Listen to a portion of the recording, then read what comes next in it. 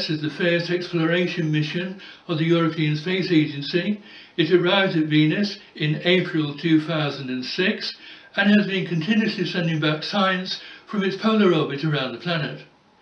As its mission now ends, two weeks ago it began one final experiment called aerobraking.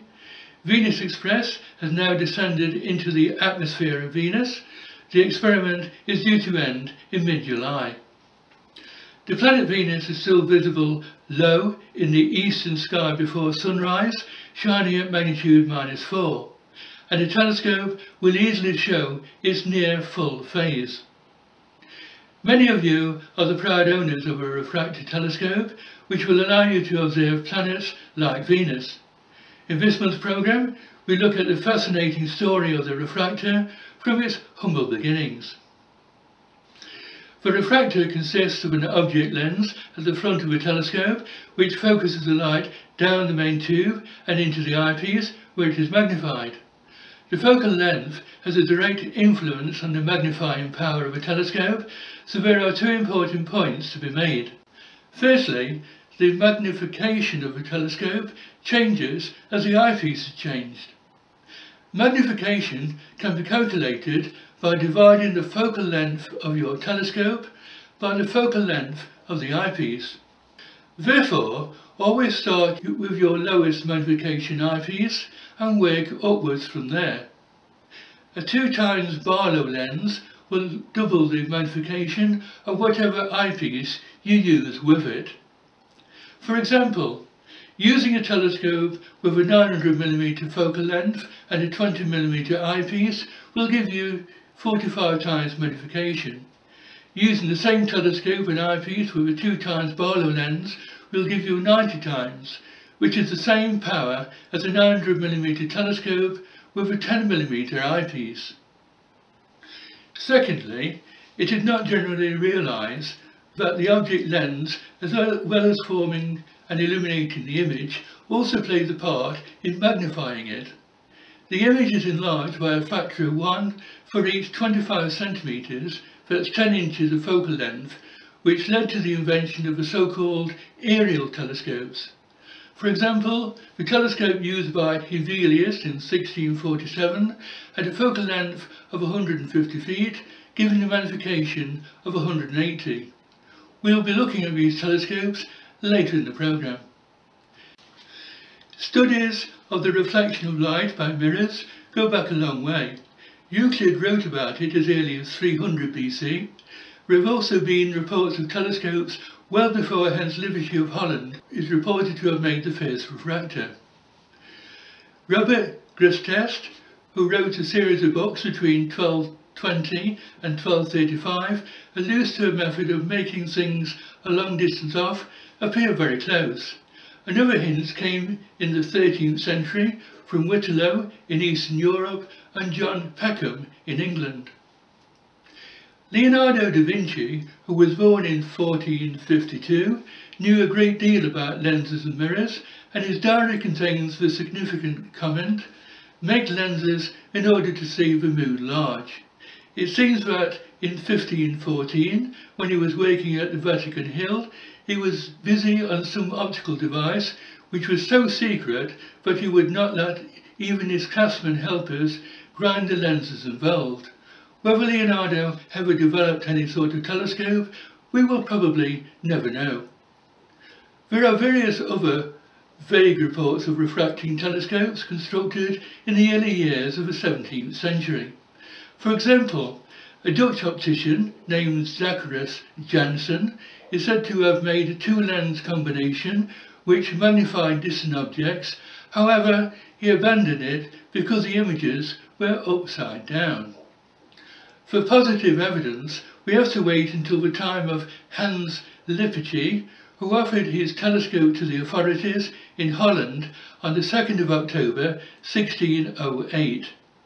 By 1609, telescopes were on sale in Paris and presumably elsewhere. They gave erect images and were used mainly for looking at distant objects such as ships out to sea. Astronomical observations were made by Thomas Harriot and others, including an English baronet, Sir William Lower, who used a telescope to look at the moon and compared it with a tart that his cook had made. Here's some bright stuff, there's some dark, so confused all over, he said. The great pioneer was Galileo Galilei, who lived in Italy. Galileo first heard about the Dutch invention in the summer of 1609 and at once set out to make a telescope for himself. In his book Sidereus Nuncius, he later wrote that by sparing neither labour nor expense, I succeeded in constructing myself an instrument so superior that objects seen through it appeared magnified nearly a thousand times, and more than thirty times nearer than if viewed by the natural powers of sight alone. During his lifetime, Galileo seems to have made about a hundred telescopes, of which a few survive. Each had a convex object glass and a concave eyepiece, giving an erect image but a very small field of view. It was Johannes Kepler, who was born in 1571, that first introduced a convex eyepiece which improved the field size and the overall performance at the cost of inverting the image. As far as we know, Kepler did not actually make such a telescope. Christopher Scheiner at Ingolstadt first did this around 1615, but Kepler's book Dioptrice shows that as a theoretical optician he was superior to Galileo. Galileo saw the mountains and craters of the moon, the countless stars of the Milky Way, the four moons of Jupiter, the phases of Venus, and the strange shape of Saturn. Two of these discoveries were of special significance. The fact that Jupiter had four satellites showed that there was more than one centre of motion in the universe which was in contradiction to Ptolemy's theory. The four satellites are still known as the Galileans, even though Galileo may not have been the first to see them. He may have been anticipated by a German named Simon Marius.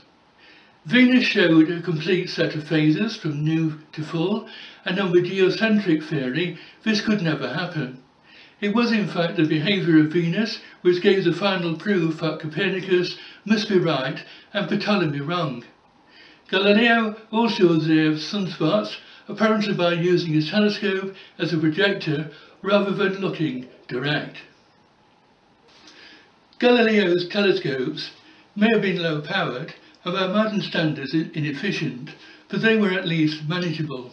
This was not true of the best refractors of the later 17th century, which were so incredibly clumsy that one wonders how they ever have been used successfully.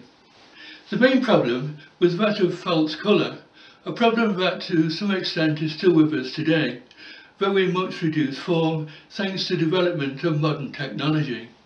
It stems from the fact that light is a wave motion and that what we normally call white light is a mixture of all the colours of a rainbow, from red through orange, yellow, blue and green to violet. Red light has the longest wavelength, violet the shortest. If the wavelength is longer than that of red light, it does not affect our eyes. We have in succession infrared, microwaves and then radio waves. Beyond the short end of the visible range, we have ultraviolet, X-rays and then gamma rays. Pass a beam of light through a glass lens and the different parts of it will be bent or refracted by different amounts. Red light will be refracted the least, violet the most. The result is that gaudy blue rings that may look beautiful but to astronomers are decidedly unwelcome will surround a bright object such as a star. The first attempts to counter this effect involved making object glasses of very long focal length, which certainly reduced the false colour nuisance, but which introduced new complications. Telescopes were so long, but they were so very clumsy. One observer who used them was Hevelius of Danzig, now Gdansk in Poland, who is probably best remembered for his map of the moon, completed in 1647, and which was a considerable improvement on either Thomas Harriot's or Galileo's. His longest telescope had a focal length of no less than 150 feet. To provide a monster of this sort with a metal tube would have made it far too heavy, and a paper tube would have been too flimsy. So Hevelius uses sectional arrangement. Each section of a tube was made up of two 40-foot wooden planks fixed at right angles to each other to form a two-sided trough and wire stays braced the whole arrangement. It was hung from a mast 90 feet high and operated from below by means of ropes and pulleys. The eyepiece had to be moved by 5 millimeters every 4 seconds to follow the target object across the sky and since the field of view was very restricted, this was in itself quite a problem. As I said earlier, it is not generally realized that the object lens, as well as forming and illuminating the image, also plays a part in magnifying it. The image is enlarged by a factor of 1 for each 10 inches of focal length. The telescope used by Hevelius had a focal length of 150 feet, so that it had a magnification of about 180 times. Next in line was Christian Huygens of Holland, whose first telescope had a 2-inch object glass with a focal length of 12 feet. Huygens was probably the best observer of the time, though he is best remembered today as being the inventor of the pendulum clock. Encouraged by Hevelius' success, he made a telescope of focal length 23 feet, and it was with this in 1655 that he discovered Titan, the largest moon of Saturn. In the following year, he studied Saturn itself and realized that the planet was surrounded by a thin, flat ring, instead of being a triple body, as Galileo had supposed. This discovery was announced in 1659, and Huygens also made the first sketch of to show any recognizable feature on the surface of Mars. His drawing shows the V-shaped feature which recalled the Syrtis Major quite clearly, and since he recorded the date and time of the observation, this showed later astronomers that the rotation of period of Mars is constant. The modern value is 23 hours, 37 minutes, 23 seconds. Huygens then progressed to a telescope with a focal length of 150 feet, which seems to have caused great interest among the citizens of his hometown, with another telescope, with a focal length of 125 feet, the object glass was held in a short iron tube and placed on a high pole. A groove running up and down the pole made it possible for the eyepiece to be raised or lowered as desired, and the image was produced by the lens was received in an eyepiece supported by a wooden stand attached to the free end of the thread linking it to the object glass. The eyepiece itself was handheld which must have added to the operating difficulties. On a dark night, the observer shone a light onto the object glass and then searched around with the eyepiece until he could see a reflection, after which he could align the optical system. Clearly, there was a limit to the size of the aerial telescope. The French astronomer Adrien Auzout, who originally put forward the idea of setting up a national observatory in Paris, planned a 600-foot telescope and even made the eyepiece for it, but it was never built and would have been impossible to use. The Paris Observatory was duly established and was ready by 1667 and was the first of all the national observatories apart from that of Copenhagen which was opened as early as 1637 but was subsequently destroyed by fire. The first director at Paris was Giovanni Cassini, an Italian who had already made his name as a very keen-sighted and accurate observer. It was he who discovered the main division in Saturn's ring system, still known as the Cassini division, as well as four of Saturn's moons, Iapetus, Rhea, Dione and Tethys. He also used aerial telescopes with objectives made by the well-known optician Campani. When Cassini arrived in Paris at the invitation of the French king, he was faced with another problem. The observatory building had been designed with, for appearance, not practical use, and inconvenient turrets meant that the view was hopelessly restricted. In the end, Cassini was reduced to taking his telescopes into the observatory grounds and waiting from there. Aerial telescopes were still in use well into the following century. Using one, Francesco Bianchini in 1727 drew what he claimed to be a phase map of Venus, even showing what were believed to be oceans and continents, though there can be no doubt that all these features were completely spurious. Even the modern telescope would show nothing on this cloud-covered planet, and it was not until the space age that we found out what Venus is really like. In 1677, Edmund Halley had taken a 24-foot focused telescope to the island of St. Helena to carry out the first systematic survey of the far southern stars, which can never be seen from the latitude of Britain. However, by then it was becoming clear that some of, sort of solution to the, the main problem would have to be found. In 1733, a wealthy amateur astronomer Chester Moore Hall hit upon the idea of making a compound object glass. He fitted together two lenses, one concave made of flint glass and the other convex made of crown glass.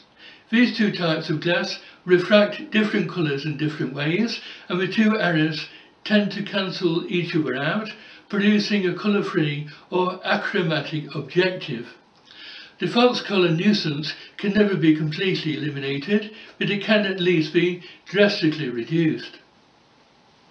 Moore Hall, a modest and retiring country barrister, had no wish for publicity, but in the 1750s the matter was taken up by an optical worker named John Dollond.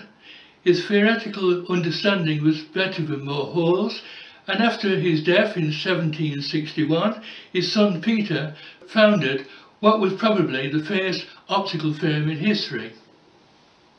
In 1765, he took one of his achromatic objectives to the Royal Observatory at Greenwich. Its performance was compared with that of the best long-focus telescope at the observatory, and the superiority of Dollond's lens was beyond doubt. The old aerial telescopes promptly became obsolete. Dollond's telescopes looked attractive and from 1783 they were made with brass draw tubes which were far better than the old paper covered vellum tubes. When set up on well-made mahogany stands they were easy to use and were fitted with slow motions. William Rutter Dawes was born on the 19th of March 1799 he was a clergyman who made extensive measurements of double stars, as well as observations of the planets, and was a friend of William Lassell. He was nicknamed Eagle Eye. He set up his private observatory at his home in Haddenham in Buckinghamshire in the UK. One of his telescopes, an 8-inch refractor by Cooke, survives at the Cambridge Observatory where it is known as the Thorrowgood telescope. Over the last 150 years, he has been credited by astronomers for what we term the Dawes limit. Aperture is one of the main factors to consider when choosing any telescope, but resolutely, the reflector provides a much larger aperture, and aperture is what matters in telescopes, since the resolving power or ability to separate close images is important. It can be worked out for any telescope by dividing the constant 4.56 by the aperture in inches.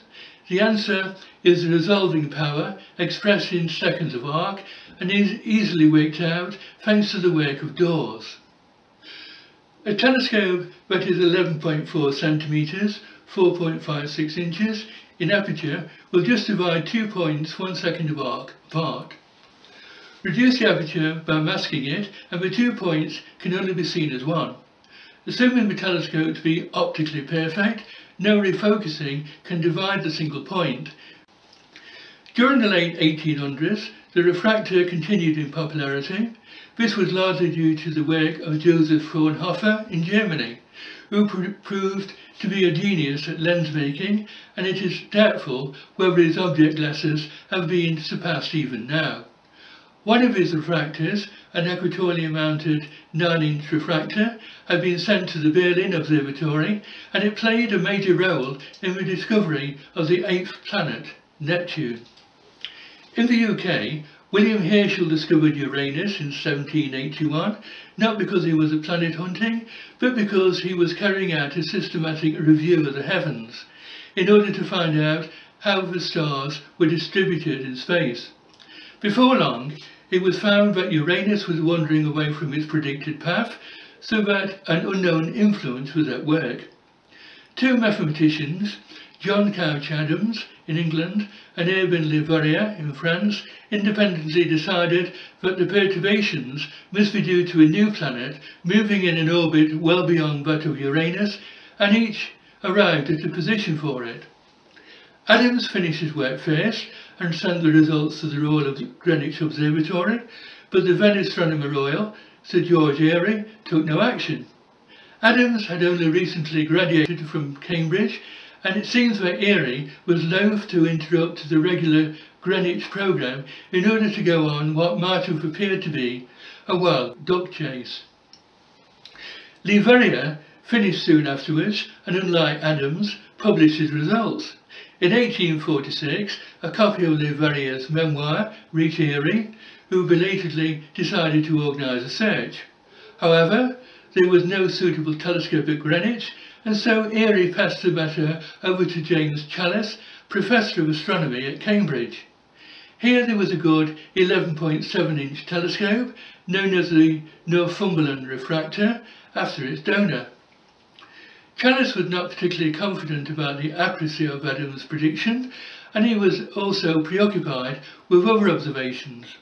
In particular, he was following a comet, Biela's, which had caused a major astronomical sensation by breaking in half. Challis did not have a good map of the area concerned and did not follow Airy's instructions. He later admitted that he got over the ground very slowly. In the meantime, Le Verrier had sent his results to Berlin, and two of the astronomers there, John Galle and Heinrich d'Arrest, asked the permission of the observatory director, John Encke, to use the Fraunhofer 9-inch refractor. Galle and d'Arrest identified the planet on the first night of their search. It was, of course, the planet we now call Neptune. Only later did Challis realise that he had recorded the planet twice in the first week of his own search but he had committed the cardinal sin of failing to compare his observations. As soon as Neptune had been identified, other telescopes were turned towards it. One of these was a 24-inch metal mirror reflector telescope made by William Lassell, a wealthy brewer who had made an excellent reputation as a British amateur astronomer. The 24-inch showed Neptune well, and in a short while he discovered Triton, Neptune's largest moon. The 24-inch was dismantled after Lassell's death, but has now been reconstructed and is in use at the Liverpool Museum in the UK. It was the Neptune humiliation which induced Airy to order a large telescope for the Royal Observatory the Northumberland refractor is still at Cambridge, though the original objective has been replaced by a slightly larger one. By the second half of the 19th century, it had become possible to make large object glasses, and in 1862, Thomas Cooke in England built the first of the great refractors, the Newall 25-inch, which still exists and is still in use. It is now at the Athens Observatory in Greece. Around this time, the first telescope making firms were established. One of them was founded in Dublin by Thomas Grubb, and it was he who was responsible for the giant refractor, the 26 inch, for the Vienna Observatory in Austria. The contract with the Grubb firm was signed in 1875. The total cost of the telescope was £8,000 and it proved to be a great success. The Grubb firm was by no means alone. In America, Alvan Clark and Co. came very much to the fore, while in France there were the Henry brothers, Paul and Prosper. Another noted lens maker was James Cook, whose objectives are as fine as any ever made. During the 1880s and 1890s, the great refractors were dominant. They included a 36 inch at the Lick Observatory in Mount Hamilton in California, a 33 inch at Meudon in the Paris area of France, a 31 inch at Potsdam in Germany, and so forth. The largest of all was a 40 inch at the Yerkes Observatory in Wisconsin in the United States, masterminded by George Ellery Hale. The 40 inch is still the main telescope at Yerkes and is in use on every clear night. A new factor then comes into the reckoning. To an astronomer, seeing is all important. The steadier and clearer the air, the better the view. High altitude is obviously an advantage because there is less atmosphere above to cause trouble. Yerkes is on the shores of Williams Bay, but this was because Charles Yerkes, the millionaire of finance said, insisted upon having the telescope in the general area of his home city, Chicago. But Mount Hamilton is well over 3,000 feet high and the Lick 36 inch benefited accordingly. Virtually all modern observatories are sited on mountain tops, which may be inconvenient, yet it is essential. Sea conditions were also paramount when Percival Lowell, a wealthy American amateur, made up his mind to establish a major observatory, mainly to study the planet Mars, which he believed to be inhabited. Lowell and his assistants carried out an exhaustive survey of possible locations in the United States and finally settled upon Flagstaff in Arizona, where the altitude is over 7,200 feet and the observatory is well above the worst of atmospheric haze and dust. Lowell ordered a fine 24-inch refractor from Alvan Clark and put it to good use, even if he did not succeed in establishing the existence of canals which he believed he had seen on Mars. There is something very attractive about a giant refractor, yet with very few exceptions, all the world's largest refractors are old. The Innes 26 inch at Johannesburg, the last telescope made by the old Grubb firm, was brought into use in 1926 and has been noted for its work on double stars, but its recent career has been rather checkered, and at one stage it was put out of action altogether. However, the Innes telescope is, is, is in the city of Johannesburg, where the light pollution is a serious hazard. The sky is never really dark, and this means that the main advantage of a large instrument, the ability to detect faint objects, is lost. There was another reason why refractors began to give way to reflectors by the turn of the century. There is a limit to the size of a working objective lens because the lens has to be supported all around its edge. And if it is too heavy, it will sag and distort under its own weight, making it useless. We must also concede that although the false colour nuisance can be greatly reduced, it can never be completely cured. The largest refractor ever made had a 49 inch lens. It was built for display at the Paris Expedition of 1901, but the 180 foot tube could not be mounted in the conventional way. Instead, it was left horizontal and the light was brought to it by way of move movable mirrors. Not surprisingly, it never worked well and it was never used for any form of research. Before long it was dismantled and it is said that the object glass remains stored somewhere in Paris. The fate of a Grubb 41 inch destined for the Pulkovo Observatory in Russia was even worse. Before the objects could be installed, the mounting had rusted away. By the end of the 19th century, the whole situation was changing. The great refractors were in use, but it had become clear that the future of astronomical research lay with the great reflector telescopes, and that is another story. That's all we have time for this month. Please visit our website, Vimeo, where you can watch all the past shows of astronomy in space. And if you like this program, please share it with your friends and members of your local astronomical society. Until we come back next month, good evening.